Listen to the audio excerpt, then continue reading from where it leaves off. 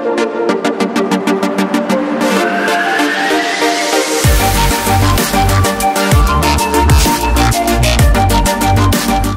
Walker here from AndroidandTech.com and welcome to this week's weekly app review.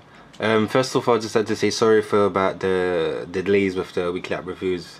I know I haven't been pushing them out every week. I think it's been like a month since I uploaded my last one, but just to let you know, I've been very busy with other stuff, other commitments and stuff. But hopefully, I should be back and I should be uploading uh, these weekly app reviews more regularly.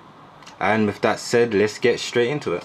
The first application we're taking a look at is The Verge. Um, this is an application for TheVerge.com. If you don't know about um, their website, they're basically a tech website. They report on different tech news that are happening all over the place. So they have tech news for different phones, tablets, anything to do with tech. Um, you can get all your latest news from here. Um, this is where I get some of my news from. So you got the main page right here that shows you all like the top uh, news stories that you could get.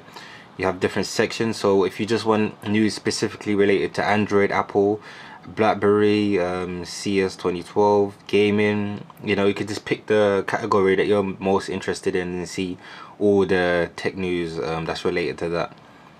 Um, you also got media as well. So they might have some videos like a 90 second uh, 90 seconds on the verge wrapping up some news stories and stuff and you got following here. So you can follow them to you know to get like the latest updates. So let's click on a story for example. Show you what it looks like. You got the title you got the picture and you got the text. You can get the source and everything at the bottom. You can share it. And you got the comments I believe that is here as well. So you know the application itself is pretty fully loaded.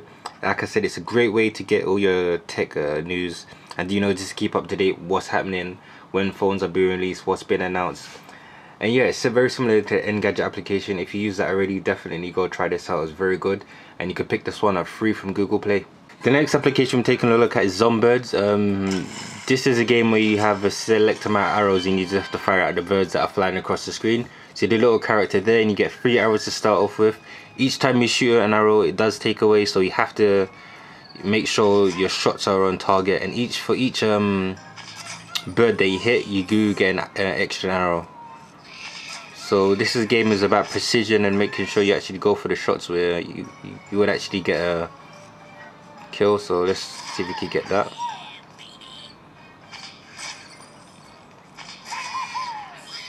As you can see down there each one I hit you do get an extra arrow. So you just have to try use them very wisely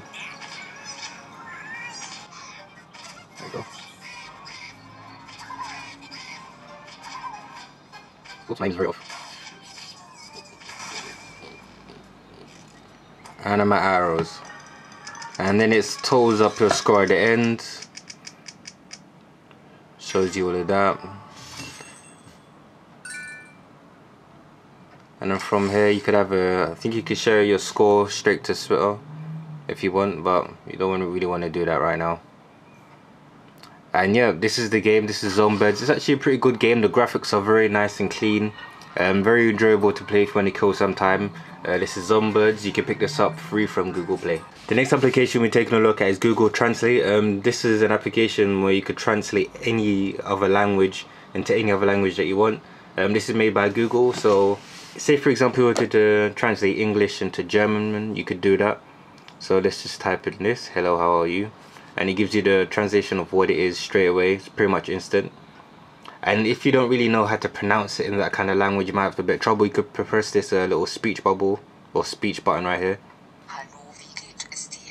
And it says how it's meant to say in that language. So you could just you could basically kind of learn a few basic words this way. Maybe if you're going to Germany and you just want to learn like a few basic words just to say you could easily do this. And also if you wanted to um, input text via speech you could do that. Hello how are you?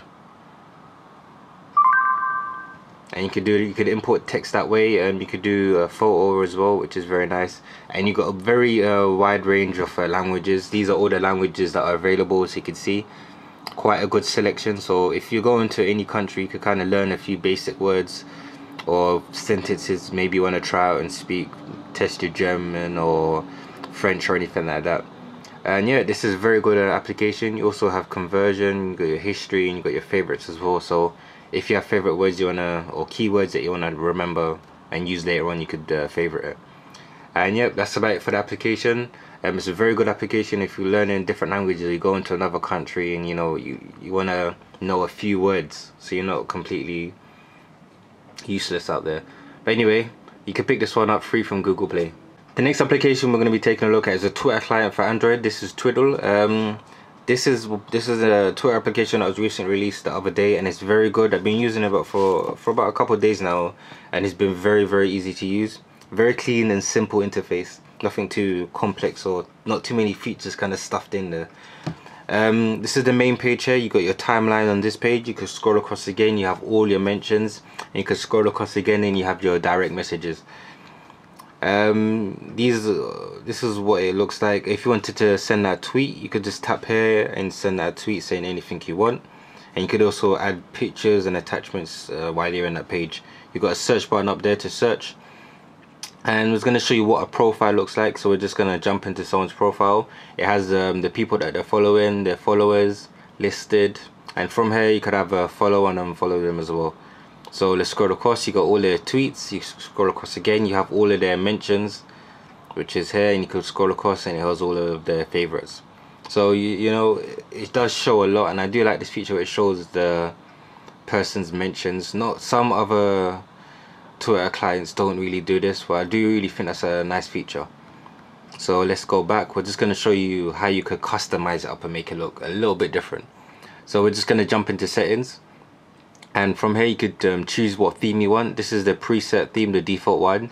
You have the market theme. So if you're a fan of the the marketplace and you really do like how uh, how the, how it looks you could set this one. Let me just show you how it looks. You can see it kind of has that same style of the Android marketplace. You may you may not be a fan of it. They've got other ones there as well. You got the light one and you got the dark one. And you could also customize the colors as well. So if you wanted like a bar to be a certain color the menu items and all of that stuff um, it's very customizable and you could make it look the way you want it to look. Um, you got more things here. You got you could configure your categories your font size SSL encryption. You can tick that if you want make it more secure. And yeah this is just a quick look at Tweedle. Um, it's a very simple application.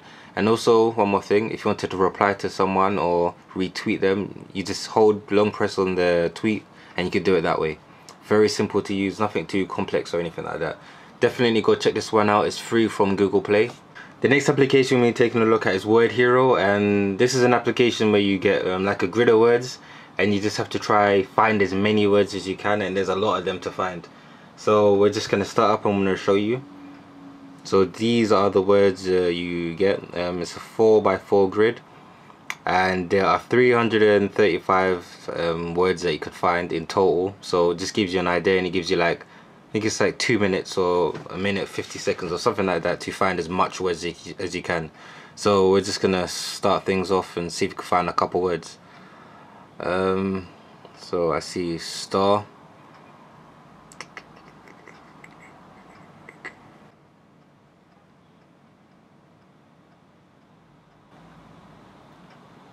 taught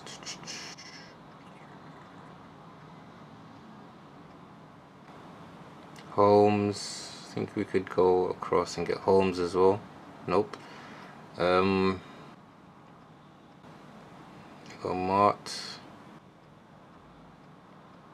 but anyway um, this is a quick look. I did manage to find like a couple words. There's obviously a lot more words you can find. There's 335 words to find. I don't know if you can find them all in the time that they give you but this just gives you a quick idea. If you really want to kill some time or you're good at um, finding words in these type of games definitely go check this out. Um, it could even help you discover new words that you don't even know or you know just to keep your mind in check. And at the end of it it shows you all the words that you could have found. So you could scroll through all 300 and uh, 35 words that you could have found and it shows you how what percentage out of the words you found. So I only found 2% which is terrible. But this is just a oops let's go back and it's gone. But anyway you saw all the different words that you could have found. It lists all of them there and those are all the ones that, that you could have made.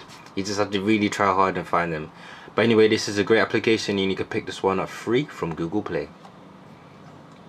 And the last thing we're going to be taking a look at is a live wallpaper not widgets live wallpaper.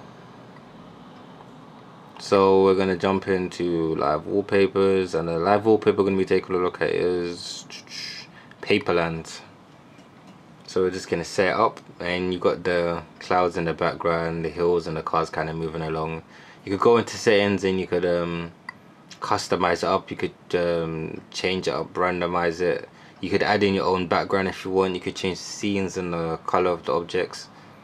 But uh, most of these features are limited to the pro version so you need to get the pro version to um, get most of these customizations and um, these features. But we're just going to set the wallpaper. I'm just going to show you exactly how it looks. So you can see let's try go to a blank screen so you see they've got the cars moving in the background and when it um, when it goes uh, nighttime it does get darker and during the day it does brighten up and you see the sun in the background and everything. It's just a very nice simple live wallpaper for you to go and try. If you haven't tried this before definitely go check this out. It runs pretty smoothly on the HTC One X and it probably will work on most other phones as well. It's just really nice um, live wallpaper but anyway that's about it for the video don't forget to leave your comments below tell me what you think and also recommend me some more applications for the next video as it does help me get the videos out a lot faster. And don't forget to give the video a thumbs up and thanks for watching. Peace